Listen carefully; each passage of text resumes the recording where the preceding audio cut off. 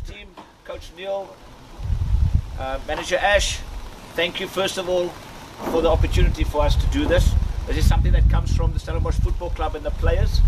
They know you're going away. You've had a great start to the season, and you you know everybody at SAS and now Stellenbosch Football Club uh, watches you and and is really behind you. So they came up with the idea of presenting you with a supporters shirt, which we've only got a week ago. So now we can give it out to special people like yourselves.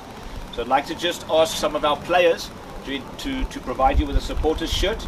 I know some of you are Kaiser Chiefs supporters, that's fine. You can support us when you're in Cape Town. Who is that? we'll sort that out.